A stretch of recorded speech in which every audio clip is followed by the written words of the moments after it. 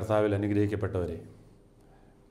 ഇന്ന് നമ്മൾ അല്പസമയം ധ്യാനിക്കുവാനായി ഉദ്ദേശിക്കുന്ന വിഷയം സങ്കീർത്തന പുസ്തകം നാലാം അധ്യായം ഏഴാം തിരുവചനമാണ്.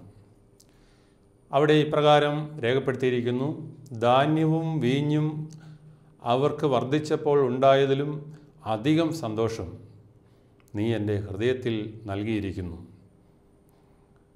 ദൈവമക്കളെ സാധാരണ മനുഷ്യന് ഏറ്റവും സന്തോഷമുണ്ടാക്കുന്ന കാര്യമാണ് ഒന്നാമത് പറഞ്ഞിരിക്കുന്നത്. അതായത് ധാന്യവും വീഞ്ഞും വർദ്ധിക്കുക. ധാന്യവും വീഞ്ഞും സമ്പത്തിന്റെ പ്രതീകമാണെന്ന് പ്രത്യേകിച്ച് നമ്മൾ പറയേണ്ടതില്ലല്ലോ. ധാന്യവും വീഞ്ഞും വർദ്ധിക്കുമ്പോൾ സാധാരണ മനുഷ്യന് സന്തോഷമുണ്ടാകുന്നത് സ്വാഭാവികമാണ്. കാരണം തന്റെ ഭൗതികമായ സമ്പത്തിത വർദ്ധിച്ചിരിക്കുന്നു. എന്നാൽ സങ്കീർത്തനക്കാരൻ പറയുകയാണ് അതിലധികമായ സന്തോഷം ദൈവമേ നീ എന്റെ ഹൃദയത്തിൽ നൽകിയിരിക്കുന്നു. എന്താണ് ഈ ദൈവത്തോടു കൂടെയുള്ള സന്തോഷത്തിന്റെ പ്രത്യേകത? എന്താണ് ധാന്യവും വീഞ്ഞും നൽകുന്ന സമ്പത്തിന്റെ പ്രത്യേകത? ഇത് രണ്ട് കാര്യങ്ങളെക്കുറിച്ച് നമുക്ക് അല്പസമയം ധ്യാനിക്കാമെന്ന് ഞാൻ വിചാരിക്കുകയാണ്. വിശുദ്ധ വേദപുസ്തകം നമ്മളോട് പറയുന്നത് ദൈവത്തിന്റെ മനസ്സിനെക്കുറിച്ചാണ്. വേദപുസ്തകത്തെ സംബന്ധിച്ച് ഗതയോൻ ബൈബിളിന്റെ ആമുഖത്തിൽ പറഞ്ഞിരിക്കുന്നത് the Bible contains the mind of God the state of man the way of salvation the doom of sinners and the happiness of the believers എന്നാണ്. അതായത് മനുഷ്യന്റെ അവസ്ഥയെക്കുറിച്ചും ദൈവത്തിന്റെ മനസ്സിനെക്കുറിച്ചും പാപികളുടെ നാശത്തെക്കുറിച്ചും വിശ്വസിക്കുന്നവരുടെ സന്തോഷത്തെക്കുറിച്ചുമാണ് ബൈബിൾ പറയുന്നത്. ഇന്ന് നമ്മൾ ചിന്തിക്കുന്ന വിഷയം പാപികളുടെ നാശത്തിന് വേണ്ടിയിട്ടുള്ളതല്ല വിശ്വസിക്കുന്നവരുടെ സന്തോഷത്തിന് വേണ്ടിയിട്ടുള്ളതാണ്. മനുഷ്യ മനസ്സിന്റെ അവസ്ഥ വെളിപ്പെടുത്താൻ വേണ്ടിയിട്ടുള്ളതാണ്. ദൈവത്തിന്റെ മനസ്സ് മനസ്സിലാക്കാൻ വേണ്ടിയിട്ടുള്ളതാണ്. ഇത് നമ്മളെ സഹായിക്കുന്ന ഒരു വേദഭാഗമാണ്. ശുദ്ധമുള്ള ലൂക്കോസ് എഴുതിയ രക്ഷാസുവിശേഷം പന്ത്രണ്ടാം അധ്യായത്തിൽ നിന്നും ഉള്ള ഭാഗങ്ങൾ. അവിടെ കർത്താവായ യേശു ക്രിസ്തു ഒരു ഉപമയിലൂടെയാണ് സംസാരിക്കുന്നത്. ആ വേദഭാഗം ഞാനൊന്ന് വായിക്കാം. ധനവാനായ ഒരു മനുഷ്യന് ഭൂമി നന്നായി വിളഞ്ഞു. അപ്പോൾ അവൻ ഞാൻ എന്തു ചെയ്യേണ്ടു? എന്റെ വിളവ് കൂട്ടിവെപ്പാൻ സ്ഥലം പോരാ എന്ന് ഉള്ളിൽ വിചാരിച്ചു. പിന്നെ അവൻ പറഞ്ഞത് ഞാൻ ഇത് ചെയ്യും. എന്റെ കളപ്പുരകളെ പൊളിച്ച് അധികം വലിയവ പണിത് എന്റെ വിളവും വസ്തുവകകളും എല്ലാം അതിൽ കൂട്ടിവെക്കും എന്നിട്ട് എന്നോട് തന്നെ നിനക്കേറിയ ആണ്ടുകൾക്ക് മതിയായ അനവധി വസ്തുവക സ്വരൂപിച്ചിരിക്കുന്നു. ആശ്വസിക്കുക തിന്നുക കുടിക്കുക ആനന്ദിക്കുക എന്ന് പറയും. ദൈവമോ അവനോട് മൂഢ ഈ രാത്രിയിൽ നിന്റെ പ്രാണനെ നിന്നോട് ചോദിക്കും. പിന്നെ നീ ഒരുക്കി വെച്ചത് ആർക്കാകും എന്ന് പറഞ്ഞു. ഈ കഥ പറഞ്ഞിട്ട് യേശു പറയുകയാണ് ദൈവവിഷയമായി സമ്പന്നരാകാതെ തനിക്കു തന്നെ നിക്ഷേപിക്കുന്നവന്റെ കാര്യം ഇങ്ങനെയാകുന്നു. ഈ സംഭവത്തിലൂടെ യേശു ലോകത്തിലെ ധനവാന്മാരെയും അവന്റെ അന്ത്യത്തെയും കുറിച്ചാണ് ഒന്നാമത് നമ്മളോട് പറയുന്നത്. മനുഷ്യന് രണ്ട് തരത്തിലുള്ള സമ്പത്ത് സമാർജിക്കാമെന്നാണ് ഈ വേദഭാഗം നമ്മളോട് പറയുന്നത്. ലോകപ്രകാരമുള്ള സമ്പത്ത് സമാർജിക്കാം. രണ്ട് ദൈവികമായ സമ്പത്തും സമാർജിക്കാം. ദൈവവിഷയമായി സമ്പന്നനാകാതെ ലോകപ്രകാരം സമ്പന്നനാകുന്ന മനുഷ്യന്റെ അവസ്ഥയെക്കുറിച്ചാണ് കർത്താവ് പഠിപ്പിക്കുന്നത്. ലോകപ്രകാരം സമ്പന്നനാകുവാന്ന വ്യക്തിയെ യേശു വിളിക്കുന്ന പേരാണ് മൂഢ എന്ന്. അതുകൊണ്ട് അനുഗ്രഹിക്കപ്പെട്ടവരെ നമുക്ക് ഏത് വിധത്തിലാണ് സമ്പന്നരാകേണ്ടത് എന്ന് നോക്കാം. നമ്മുടെ എല്ലാവരുടെയും ജീവിതത്തിൽ കർത്താവ് ഈ തെരഞ്ഞെടുപ്പിനുള്ള അവസരം വെച്ചിട്ടുണ്ട്. അതായത് ലോകപ്രകാരമുള്ള സമ്പന്നതയും ദൈവികമായ സമ്പന്നതയും നമ്മുടെ മുമ്പിൽ ഇരിക്കുകയാണ്. റോബർട്ട് ഫ്രോസ്റ്റിന്റെ ഒരു കവിതയുണ്ട് ദി റോഡ് നോട്ട് ടേക്കൺ അതിൽ കവി ഒരു വനപ്രദേശത്ത് ചെന്ന് നിൽക്കുകയാണ്. ആ കാനനത്തിലേക്ക് രണ്ട് വഴികൾ പോകുന്നതായിട്ട് അദ്ദേഹം കാണുകയാണ്. ഒരു വഴി ധാരാളം ആളുകൾ സഞ്ചരിച്ച് തെളിഞ്ഞ പാതയാണ്. മറ്റൊരു പാത അധികമാരും സഞ്ചരിക്കാതെ തെളിയാത്തൊരു പാതയാണ് ഏത് വഴിയെ പോകണമെന്ന സന്നിഗ്ധാവസ്ഥയിൽ കവി ഏറെ നേരം ആ വഴിയിൽ നിന്നു എന്നിട്ട് അദ്ദേഹം പറയുകയാണ് I took the road less travelled by അധികമാരും സഞ്ചരിക്കാത്ത പാത ഞാൻ തിരഞ്ഞെടുത്തു. അനുഗ്രഹിക്കപ്പെട്ടവരെ ഇന്ന് മനുഷ്യരായ മനുഷ്യരായ നമ്മളുടെ മുമ്പിൽ രണ്ട് വഴികൾ നിൽക്കുകയാണ്. ഒന്ന് വിശാലമായ ലോകത്തിന്റെ പാത അനേകർ തിരഞ്ഞെടുക്കുന്ന സമ്പത്തിന്റെ പാത. രണ്ട് ദൈവമെന്ന സമ്പത്തിനെ സ്വന്തമാക്കാനുള്ള ആത്മീയ പാത. ഇതിലേത് നമ്മൾ തിരഞ്ഞെടുക്കും? ലോകപ്രകാരം തിരഞ്ഞെടുത്താൽ എന്തായിരിക്കും നമ്മുടെ അവസ്ഥ? എന്തുകൊണ്ടാണ് അത് തിരഞ്ഞെടുക്കുന്നവരെ മൂഢ എന്ന് യേശു വിളിച്ചത്? തിരുവചനത്തിൽ തന്നെ അതിന് ഉത്തരമുണ്ട് അതിന് കാരണങ്ങളുണ്ട്. ഒന്നാമതായി യേശു പറയുന്നു രണ്ട് യജമാനന്മാരെ സേവിപ്പാൻ ആർക്കും സാധിക്കുകയില്ല. അതായത് നിങ്ങൾക്ക് ദൈവത്തെയും മാമോനെയും ഒരുപോലെ സേവിക്കുവാൻ സാധ്യമല്ല എന്ന് യേശു പഠിപ്പിക്കുകയാണ്. അതുകൊണ്ട് രണ്ട് യജമാനന്മാരെ സേവിക്കുന്നവർ രണ്ട് വഞ്ചിയിൽ കാലി ചവിട്ടുന്നവരെ പോലെയാണ്. രണ്ട് വഞ്ചിയിൽ കാലി ചവിട്ടിയാൽ എന്താണെന്ന് ഫലമുണ്ടെന്ന് നമ്മൾ ഊഹിച്ചാൽ മതി. നമ്മൾ വെള്ളത്തിൽ പോവുക തന്നെ ചെയ്യും. അതുകൊണ്ട് ദൈവമക്കളായ നമ്മൾ ഒരു വഞ്ചിയിൽ കാലി ചവിട്ടുക. ഏത് വഞ്ചിയാണ് നമുക്ക് കൂടുതൽ സുരക്ഷിതമായിട്ടുള്ളത് എന്ന് ഇതിനെ ആശ്രയിച്ചാണ് നമ്മൾ തിരഞ്ഞെടുക്കേണ്ടത്. ലോകപ്രകാരം ഉള്ള സമ്പത്ത് സമാർജിക്കുന്നവന്റെ വഞ്ചി മുങ്ങുക തന്നെ ചെയ്യും. ഇന്നല്ലെങ്കിൽ നാളെ അത് മുങ്ങും. യേശു പറയുകയാണ് തിരുവചനത്തിൽ പറയുകയാണ് മക്കളെ സമ്പത്തിൽ ആശ്രയിക്കുന്നവൻ ദൈവരാജ്യത്തിൽ കടക്കുന്നത് എത്ര പ്രയാസം. വിശുദ്ധ മർക്കോസിന്റെ സുവിശേഷം പത്താം അധ്യായം ഇരുപത്തിനാലാം തിരുവചനം. സമ്പത്തുള്ളവൻ ദൈവരാജ്യത്തിൽ കടക്കുന്നത് പ്രയാസമാണ് എങ്കിൽ ലോകപ്രകാരമുള്ള സമ്പത്തിനെ സമർജിക്കാൻ നമ്മുടെ ക്രിസ്തു ജീവിതത്തിൽ നമ്മൾ എന്തിന് അമിതമായി പരിശ്രമിക്കണം?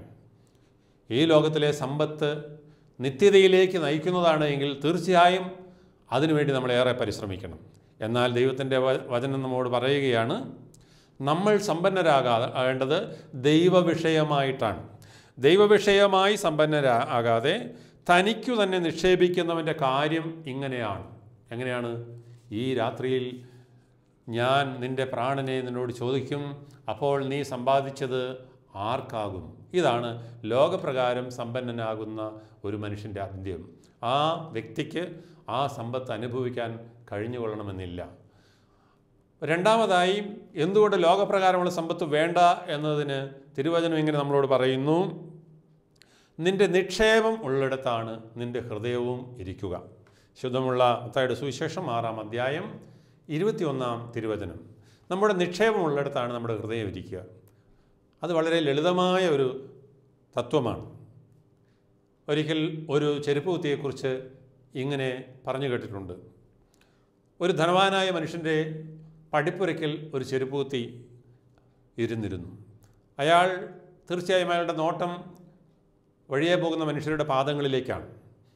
ആരുടെയെങ്കിലും ചെരുപ്പുകൾ പൊട്ടിയിട്ടുണ്ടെങ്കിൽ ആ മക്തി ഉടനെ ആ മനുഷ്യന്റെ മുഖത്തേക്ക് നോക്കും. അയാൾ സമീപത്ത് ചെന്ന് ചെരുപ്പുകൾ നന്നാക്കി എന്തെങ്കിലും കൊടുത്ത് തിരിച്ചു പോവുകയും ചെയ്യും. വളരെ സന്തോഷവാനായിട്ടാണ് ആ മനുഷ്യൻ കഴിഞ്ഞിരുന്നത്. അതുകൊണ്ട് തന്നെ അയാൾ ഇടയ്ക്ക് പാട്ട് പാടിക്കൊണ്ടിരുന്നു. ഇടയ്ക്ക് അയാൾ ഉച്ചത്തിൽ എന്തൊക്കെയോ ശബ്ദങ്ങൾ പുറപ്പെടുവിച്ചുകൊണ്ടിരുന്നു. തൊട്ടടുത്ത് താമസിച്ച ധനികനായ മനുഷ്യന് ഈ ചെരുപ്പുത്തിയുടെ പാട്ട് ശബ്ദമൊക്കെ ഒരു അസ്വസ്ഥത ജനിപ്പിക്കാൻ തുടങ്ങി. ഒരു ദിവസം ധനികനായ മനുഷ്യൻ ഭാര്യയോട് പറഞ്ഞു ഞാൻ അവന്റെ പാട്ട് നിർത്തുന്നുണ്ട്. അതിന് അദ്ദേഹം കണ്ടുപിടിച്ചൊരു മാർഗം ഇതാണ്. ഈ ചെരുപ്പ് കുത്തി എന്ന പാവപ്പെട്ടവന് ധനികനായ മനുഷ്യൻ ഒരു ദിവസം ഒരു സ്വർണ നാണയം കൊണ്ടുവന്ന് കൊടുത്തു. ആ സ്വർണ നാണയം ലഭിച്ച ചെരുപ്പ് കുത്തി ജീവിതത്തിൽ ആദ്യമായിട്ടാണ് ഇങ്ങനെ സ്വർണ നാണയം കാണുന്നത്. അയാൾ അതിലേക്ക് ഏറെ നേരം നോക്കി നിന്നു. തന്റെ ജീവിതത്തിലെ ആഹ്ലാദിപ്പിക്കുന്ന ഒരു കാര്യമായിട്ട് അദ്ദേഹത്തിന് തോന്നി. അദ്ദേഹം വളരെ ഭദ്രമായി ആ സമ്മാനം തന്റെ മുറിയുടെ ഉള്ളിലെ ഒരു ഇരുമ്പ് പെട്ടിയിൽ കൊണ്ടുവന്ന് വെച്ചു. വീണ്ടും പോയിരുന്ന അദ്ദേഹം തന്റെ ജോലി തുടരാൻ തുടങ്ങി. പക്ഷേ ഇത്തവണ അദ്ദേഹത്തിന്റെ ശ്രദ്ധ ഉള്ളിലേക്കായിരുന്നു വീടിന്റെ ഉള്ളിലേക്കായിരുന്നു. ആരെങ്കിലും അടുക്കള വശത്തെ വാതിൽ വഴി തന്റെ ഭവനത്തിനുള്ളിൽ പ്രവേശിക്കുന്നുണ്ടോ? തന്റെ സമ്പാദ്യം അല്ലെങ്കിൽ തന്റെ നിധി ആരെങ്കിലും എടുത്തുകൊണ്ട് പോകുന്നുണ്ടോ എന്നൊക്കെയായി അദ്ദേഹത്തിന്റെ ചിന്ത. കുറേ നേരം കഴിഞ്ഞപ്പോൾ അദ്ദേഹത്തിന്റെ ചിന്ത മുഴുവൻ ഇത് മാത്രമായി. അദ്ദേഹം പാട്ടുപാടാൻ മറന്നുപോയി. അദ്ദേഹത്തിന്റെ സന്തോഷമുഖത്തുനിന്ന് പോയിപ്പോയി. പോയി പകരം ഉത്കണ്ഠയും ആകുലതയൊക്കെ മനസ്സിൽ വരാനായിട്ട് തുടങ്ങി. എന്ത് സംഭവിക്കും? തന്റെ സമ്പാദ്യം ആരെങ്കിലും എടുത്തുകൊണ്ട് പോകുമെന്നുള്ള ഭയമായി അദ്ദേഹത്തിന്. അനുഗ്രഹിക്കപ്പെട്ടവരെ. വളരെ പാവപ്പെട്ടവരായിരിക്കുന്ന ആളുകളുടെ വീട്ടിൽ എന്തൊരു സന്തോഷമാണ്. കാരണം അവർക്ക് ഒന്നിനെക്കുറിച്ചും ഉത്കണ്ഠപ്പെടാനില്ല. ഒന്നിനെക്കുറിച്ചും ആകുലപ്പെടാനില്ലാത്തതുകൊണ്ടായിരിക്കണം അവർ വളരെ ഹാപ്പിയാണ്. ചില കാര്യങ്ങളിൽ അവർക്ക് ദുഃഖമുണ്ട് അതില്ല എന്ന് പറയുന്നില്ല. അവർ സന്തോഷവാന്മാരാണ് സന്തോഷവതികളാണ്. എന്നാൽ ആ വീട്ടിലേക്ക് ധനം വരുമ്പോൾ ആ വീട് അസ്വസ്ഥമാകാൻ തുടങ്ങും. അതുകൊണ്ടാണ് കർത്താവ് പറഞ്ഞത് ധനവാൻ സ്വർഗരാജ്യത്തിൽ കിടക്കുന്നത് എത്ര പ്രയാസമുള്ള കാര്യമാണ്. അതിലും എളുപ്പം ഒട്ടകം സൂചിക്കുഴയിലൂടെ കടക്കുന്നതാണ് എന്ന് കർത്താവ് പറഞ്ഞു വെച്ചു. അനുഗ്രഹിക്കപ്പെട്ടവരെ ഭൗതികമായ സമ്പത്ത് സമാർജിക്കേണ്ടെന്നല്ല അച്ഛൻ പറഞ്ഞതിന്റെ അർത്ഥം. ഭൗതികമായ സമ്പത്ത് ദൈവത്തിന്റെ ദാനമാണ്. ഈ സമ്പത്ത് ദൈവത്തിന്റെ ദാനമാണെന്ന് നമ്മൾ മനസ്സിലാക്കുമ്പോഴാണ് നമുക്ക് യഥാർത്ഥ സന്തോഷം വരുന്നത്. അതെ നിന്റെ നിക്ഷേപം ഉള്ളിടത്ത് നിന്റെ ഹൃദയവും ഇരിക്കും.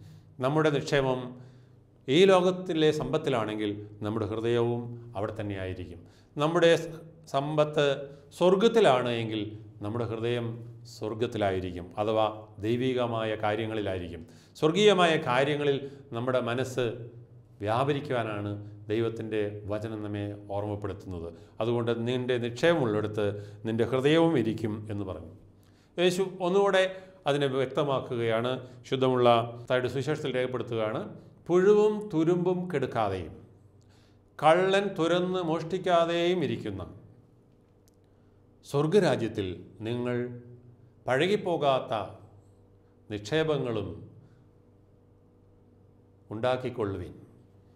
പഴകിപ്പോകാത്ത നിക്ഷേപങ്ങൾ തുരുമ്പിക്കാത്ത സമ്പാദ്യങ്ങൾ സ്വർഗത്തിലുണ്ടാക്കുവാൻ ഞാനും നിങ്ങളും പരിശ്രമിക്കേണ്ടതാണ്.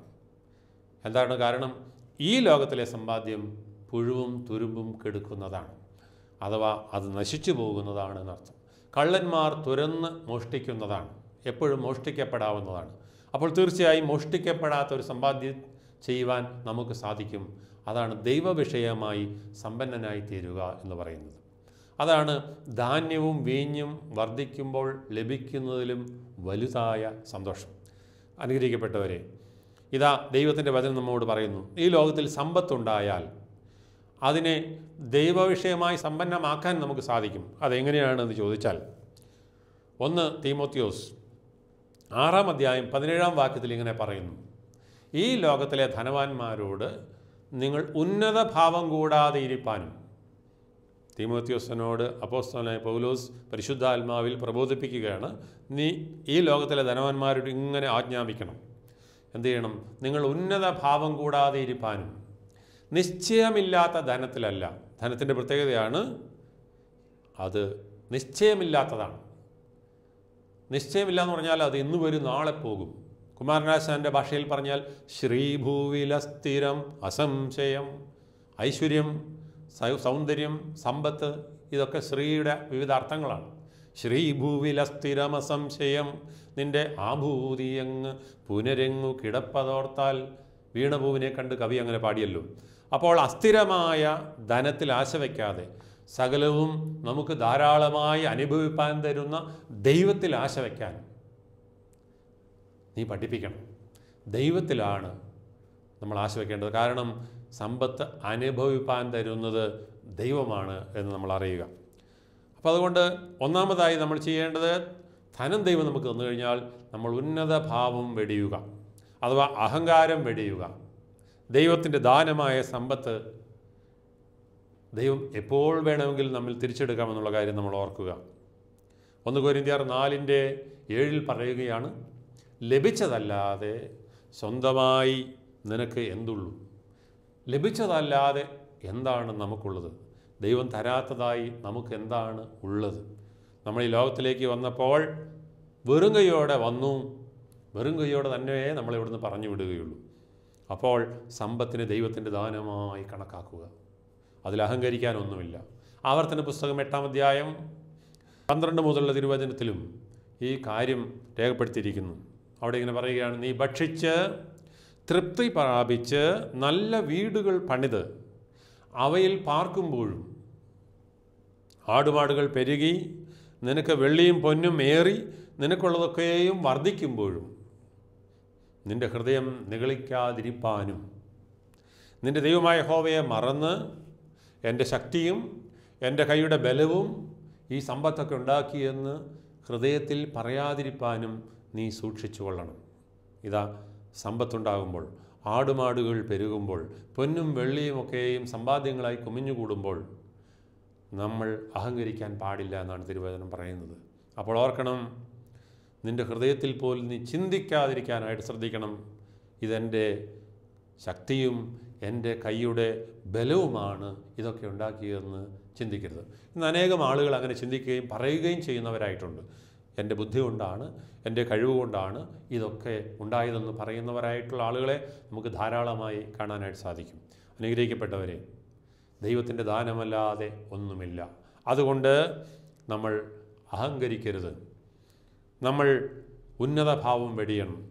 രണ്ടാമതായി അപ്പോസ്തലൻ പഠിപ്പിക്കുകയാണ് സർവവും നമുക്ക് ധാരാളമായി അനുഭവിപ്പാൻ തരുന്ന ദൈവത്തിൽ ആശ വയ്ക്കുക. ദൈവത്തിൽ ആശ വയ്ക്കുക. ദൈവത്തിൽ ആശ വയ്ക്കാൻ നമുക്ക് കാരണമുണ്ട്. എല്ലാം അനുഭവിക്കാൻ ദൈവം അനുവദിച്ചാലേ സാധിക്കുകയുള്ളൂ. ധനവാനായ മനുഷ്യൻ സമ്പത്തേറെ ഉണ്ടായപ്പോൾ കളപ്പുരകൾ പൊളിച്ച് പുതിയത് പണിത് അവയിൽ തന്റെ ധാന്യങ്ങൾ ശേഖരിച്ചു വയ്ക്കുമെന്നാണ് പറഞ്ഞത്. പക്ഷേ അത് അനുഭവിക്കാൻ അവന് സാധിക്കുന്നില്ല. കാരണം കർത്താവ് പറയുകയാണ് മൂട ഈ രാത്രിയിൽ ഞാൻ നിന്റെ പ്രാണനെ എടുക്കും. ഇതാ സമ്പത്ത് നമുക്കുണ്ടാകാം.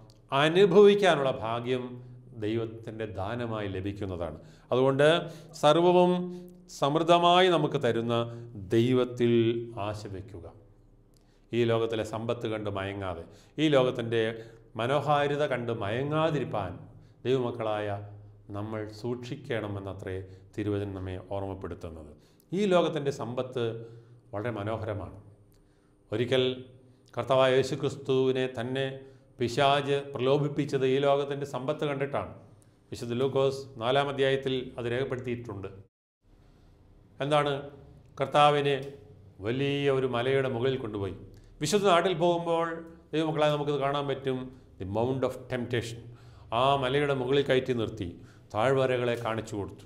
മനോഹരമായ താഴ്വരകൾ. മാതള നാരകവും മുന്തിരിയും ഒലിവും എല്ലാം സമൃദ്ധിയായി വിളയുന്നതായ ആ താഴ്വരകളെ കാട്ടിയിട്ട് പിശാജ് യേശുവിനോട് പറയുന്നതായി രേഖപ്പെടുത്തിയിരിക്കുന്നു. ഈ മനോഹരമായ ഭൂമി നിനക്ക് തരാം. നീ എന്നെ വീണ് നമസ്കരിച്ചാൽ മതി.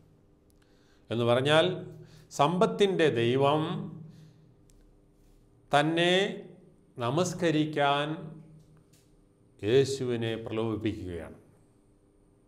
യേശു നേരത്തെ പറഞ്ഞു നിങ്ങൾക്ക് ദൈവത്തെയും മാമോനെയും സേവിപ്പാൻ സാധ്യമല്ല. മാമോൻ സമ്പത്തിന്റെ ദൈവമാണ് അല്ലെങ്കിൽ സമ്പത്തിന്റെ പ്രതീകമാണ്.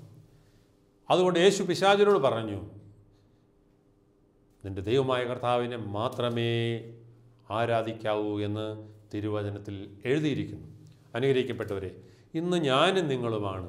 അപ്രകാരമുള്ള ഒരു പ്രലോഭനത്തിന് വിധേയരാകുന്നത് എങ്കിൽ അതായത് ലോകത്തിന്റെ മഹത്വത്തെ കാണിച്ചിട്ട് ഐശ്വര്യത്തെ കാണിച്ചിട്ട് പ്രതാപത്തെ കാണിച്ചിട്ട് സമ്പത്തിനെ കാണിച്ചിട്ട് എന്നെ വീണ് നമസ്കരിച്ചാൽ ഇതെല്ലാം നിനക്ക് തരാമെന്ന് നമ്മോടാണ് പറയുന്നത് എങ്കിൽ എന്തായിരിക്കും നമ്മുടെ പ്രതികരണം? അനുഗ്രഹിക്കപ്പെട്ടവരെ യഥാർത്ഥ സമ്പത്ത് ഏതാണെന്ന് അറിയാത്തവൻ അതിലേക്ക് ഓടിയെടുക്കും. ഒരു ഈയാമ്പാറ്റ വിളക്കിന് അടുക്കിലേക്ക് ഓടി വരുന്നത് പോലെ. അതിനറിഞ്ഞുകൂടാ ഈ വിളക്കിനടുക്കേക്ക് വന്നാൽ അതിന് തന്റെ ചിറകിനെ കത്തിച്ചു കളയുമെന്ന് അറിഞ്ഞുകൂടാ? അതുകൊണ്ടാണ് കത്തുന്ന വിളക്കിനടുത്തേക്ക് ഈയാമ്പാറ്റ വരുന്നത്. അതുപോലെ നമ്മെ പ്രലോഭിപ്പിക്കുന്ന ഈ ലോകത്തിന്റെ സമ്പത്ത് ധനം ഐശ്വര്യം ഇവ എൻ അതിന്റെ ദോഷത്തെക്കുറിച്ച് അറിയാ അറിയാത്തതുകൊണ്ട് അനേകർ അതിലേക്ക് ഓടിച്ചെല്ലുന്നു. ഈ ലോകത്തിന്റെ ധനത്തിൽ ആകൃഷ്ടരായി അവർ ചെറുക് അരിഞ്ഞ് വീഴുന്നു. ചിലർ പണം ഇരട്ടിപ്പിക്കൽ ചിലർ ചില തട്ടിപ്പ് കമ്പനികളിൽ ചിലർ മറ്റ് ചില കാര്യങ്ങളിൽ ഒക്കെയും തങ്ങളുടെ പണം നിക്ഷേപിച്ച് തകർന്ന് തരിപ്പണമാകുന്ന കാഴ്ചകൾ നമ്മൾ നിരന്തോറും കണ്ടുകൊണ്ടിരിക്കുകയാണ്. അനുഗ്രഹിക്കപ്പെട്ടവരെ ദൈവമക്കളായ നമുക്ക് ഒരു തിരിച്ചറിവുണ്ടാകുമ്പോൾ ഇതല്ല വഴി യേശുവാണ് വഴി.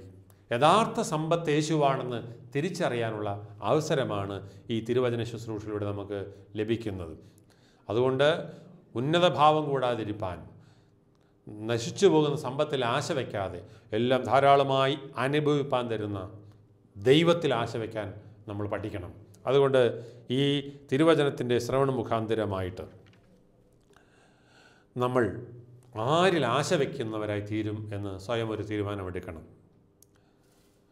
പാട്ടുകാരൻ പാടി എന്റെ സമ്പത്തെന്നു ചൊല്ലുവാൻ വേറെയില്ലൊന്നും യേശു മാത്രം സമ്പത്താകുന്നു. നമ്മുടെ യഥാർത്ഥ സമ്പത്ത് കർത്താവായ യേശു ക്രിസ്തുവാണ് കാരണം അവൻ പറയുന്നു അവങ്കിലേക്ക് നോക്കിയവർ പ്രകാശിതരാവും അവരുടെ മുഖം ലജ്ജിച്ചു പോവുകയുമില്ല.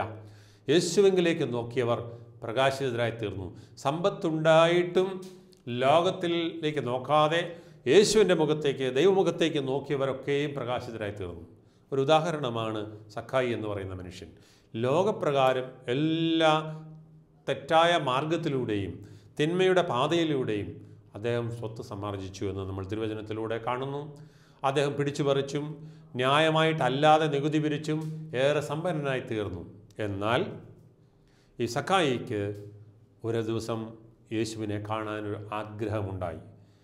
അവൻ പൊക്കത്തിൽ കുറഞ്ഞവനായിരുന്നതുകൊണ്ട് ജനക്കൂട്ടം തടസ്സമായിരുന്നതുകൊണ്ടും അവനോടി മുമ്പേ കടന്ന ഒരു കാട്ടത്തി മരത്തിൽ കയറി യേശു വരുന്നതും കാത്തിരുന്നു. അത് മനോഹരമായ ഒരു കാഴ്ചയാണ്. അത്യവൃക്ഷത്തിന്റെ സമൃദ്ധമായ ഇലകളുടെ മറവിൽ ഒരു കുഞ്ഞു മനുഷ്യനിരുന്ന് ഒരാളെ കാത്തിരുന്ന് നോക്കുകയാണ്. അത് മറ്റാരുമല്ല സഖായി.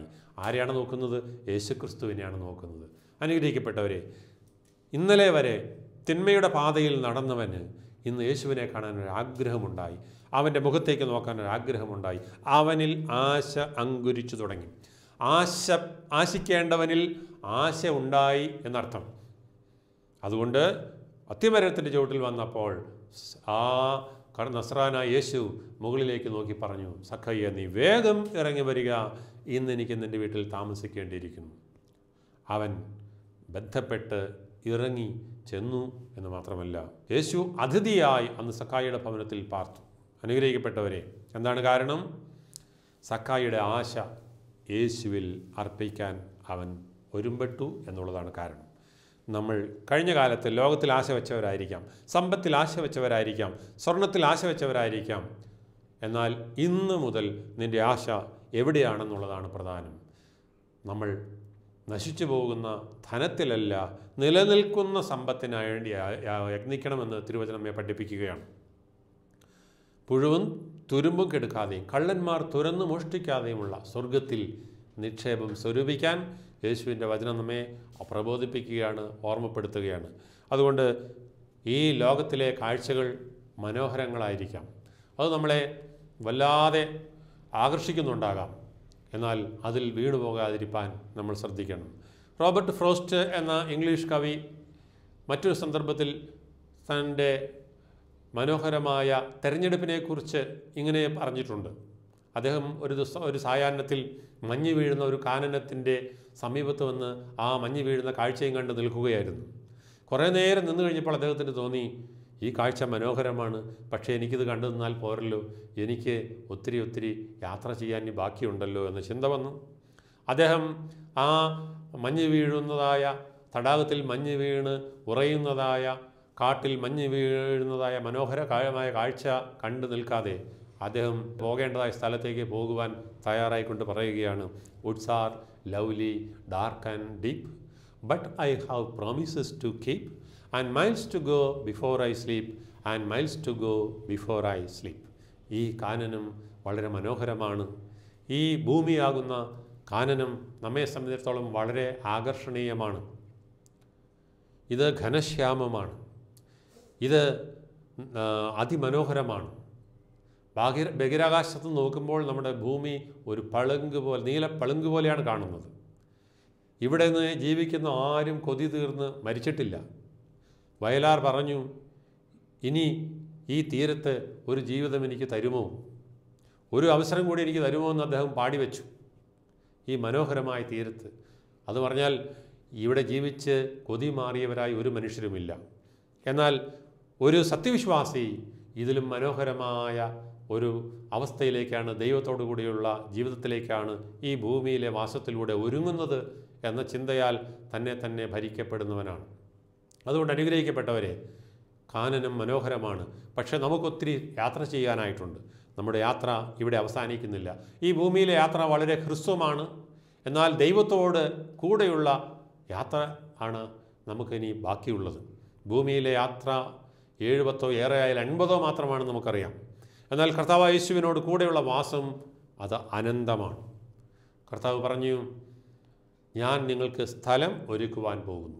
ഞാൻ പോയി സ്ഥലം ഒരുക്കിയാൽ ഞാൻ ഇരിക്കുന്നിടത്ത് നിങ്ങളും ഇരിക്കേണ്ടതിന് പിന്നെയും വന്ന് നിങ്ങളെ എന്റെ അടുക്കൽ ചേർത്തുകൊള്ളും. അങ്ങനെ കർത്താവ് യേശു തന്റെ അടുക്കൽ നമ്മെ ചേർക്കാൻ വേണ്ടി ഇനിയും വരുന്നതായ സമയം കാത്തിരിക്കുന്നവരാണ് വിശ്വാസികൾ എന്ന് പറയുന്നവർ. അങ്ങനെ യേശുവിനോട് കൂടെ ചേർക്കപ്പെടുന്ന വിശ്വാസികൾക്ക് ദൈവത്തോടു കൂടെ അനന്തകാലമാണ് വാസം. അവിടെ നശിച്ചു പോകുന്ന ഒന്നും തന്നെ ഇല്ല എന്ന് നമ്മൾ അറിഞ്ഞിരിക്കണം. ദൈവത്തോടു കൂടെയുള്ള നമ്മുടെ വാസം അനശ്വരമാണെന്ന് മാത്രമല്ല അവിടെ ഏറ്റവും അതിമനോഹരമായ ഒരുക്കങ്ങളാണ് കർത്താവ് നമുക്ക് ചെയ്തുന്നത് കർത്താവ് പറഞ്ഞു തന്നെ സ്നേഹിക്കുന്നവർക്ക് വേണ്ടി അവൻ ഒരുക്കിയിട്ടുള്ളതിനെ ഒരു കണ്ണും കണ്ടിട്ടില്ല ഒരു ഹൃദയത്തിലും തോന്നിച്ചിട്ടില്ല ഒരു ചെവി കൊണ്ടും കേൾക്കാനും സാധിച്ചിട്ടില്ല. അതിമനോഹരമായ സ്വർഗ നഗരിയാണ് കർത്താവ് നമുക്ക് ഒരുക്കുന്നത്. പാട്ടുകാരൻ പാടുന്നു അത് മുത്തുമയമായി വിളങ്ങും പട്ടണമാണത്.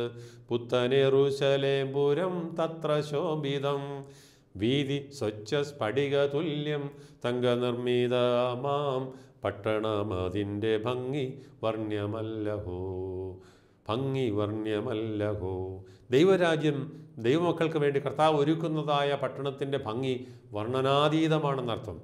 ഈ ഭവനത്തിലേക്ക് പോകുവാൻ നമ്മൾ ദൈവരാജ്യത്തിലെ സമ്പാദ്യമുള്ളവരായി മാറണം. ദൈവത്തിന്റെ പരിശുദ്ധാത്മാവ് അവന്റെ വചനത്തെ പങ്കുവയ്ക്കുന്നവർക്ക് അവനെ ഉള്ളത്തിൽ സ്വീകരിക്കുന്നവർക്ക് കർത്താവ് യേശു ക്രിസ്തുവിനെ രക്ഷകനും നാഥനുമായി ഹൃദയത്തിൽ സ്വീകരിക്കുന്നവർക്ക് വലിയ സന്തോഷം നൽകും. ഈ ലോകത്തിന്റെ സമ്പത്തല്ല കർത്താവാണ് യഥാർത്ഥ സമ്പത്തെന്ന് തിരിച്ചറിഞ്ഞുകൊണ്ട് ഈ നാളുകളിൽ നമുക്ക് യേശുവിന്റെ സന്നിധിയിൽ നമ്മെ തന്നെ സമർപ്പിക്കാം. കർത്താവ് നമ്മെ അനുഗ്രഹിക്കട്ടെ. നമുക്കൊരു നിമിഷം പ്രാർത്ഥിക്കാം. കരുണയുള്ള ദൈവമേ സ്വർഗസ്ഥ പിതാവേ ഈ അനുഗ്രഹീത സമയത്തിനായി ഞങ്ങളെ സ്തുതിക്കുന്നു. വന്ദിക്കുന്നു. കർത്താവെ യഥാർത്ഥ സമ്പത്ത് എന്താണെന്ന് തിരിച്ചറിയുവാനുള്ള കണ്ണുകളെ അവിടെ നിന്ന് ഞങ്ങൾക്ക് തുറന്നു തരണമേ. ഞങ്ങളുടെ കണ്ണുകൾ പലപ്പോഴും ലോകത്തിലേക്ക് മാത്രം തുറന്നിരിക്കുന്നു. ലോകപ്രകാരം ജീവിക്കാനും ലോകപ്രകാരം അധ്വാനിക്കാനും ലോകപ്രകാരം സമ്പാദിക്കാനുമാണ് ഞങ്ങൾ തത്രപ്പെടുന്നത്. എന്നാൽ കർത്താവ് ഞങ്ങളുടെ തിരുവചനം പറഞ്ഞു? ഈ ലോക വിഷയമല്ലാതെ ദൈവിക വിഷയത്തിൽ സമ്പന്നരായി തീരുവാൻ അങ്ങയുടെ വചനം ഞങ്ങളെ പഠിപ്പിച്ചു. അതാണ് യഥാർത്ഥ ആനന്ദം നൽകുന്നത്. അതാണ് യഥാർത്ഥ സന്തോഷം നൽകുന്നത്. ലോകസമ്പത്ത് വർദ്ധിക്കുമ്പോൾ ഉണ്ടാകുന്ന സന്തോഷം ഞങ്ങൾക്ക് അനുഭവിപ്പാൻ അങ്ങ് ആയുസ് തന്നുകൊള്ളണമെന്നില്ല. എന്നാൽ കർത്താവ് യേശു ക്രിസ്തു ഞങ്ങളുടെ ഉള്ളത്തിലേക്ക് വരുമ്പോൾ ഞങ്ങൾക്ക് എന്തോ ഒരു സന്തോഷമാണ് അത് പ്രദാനം ചെയ്യുക. കാരണം അവിടുന്ന് ഞങ്ങളുടെ പാപത്തെ പരിഹരിച്ച് ഞങ്ങളിൽ നിത്യജീവന്റെ വചനത്തെ വിതച്ച് ഞങ്ങൾക്ക് സ്വർഗീയ സൗഭാഗ്യത്തെക്കുറിച്ച് പ്രത്യാശ തന്ന് ഞങ്ങൾക്കൊരു ഉയർത്തെഴുന്നേൽപ്പിനെക്കുറിച്ച് ബോധ്യം തന്ന് യേശുവിനോട് കൂടെയുള്ള വാസത്തിന് വേണ്ടി ഞങ്ങളെ അവിടുന്ന് ഒരുക്കുന്നു. കർത്താവ് ഞങ്ങളുടെ വലം കൈ പിടിച്ച് നടത്തുന്നു. വഴിയും സത്യവും ജീവനുമാകുന്ന അങ്ങേ അനുഗമിക്കുവാൻ ഞങ്ങളെ അവിടുന്ന് യോഗ്യരാക്കി തീർക്കണമേ. ആ കൃപയ്ക്കായി നന്ദി പറയുന്നു. തിരുവചനത്തിനായി സ്തോത്രം ചെയ്യുന്നു. പിതാവിന്റെയും പുത്രന്റെയും പരിശുദ്ധാത്മാവിന്റെ നാമത്തിൽ തന്നെ. ആമേൻ.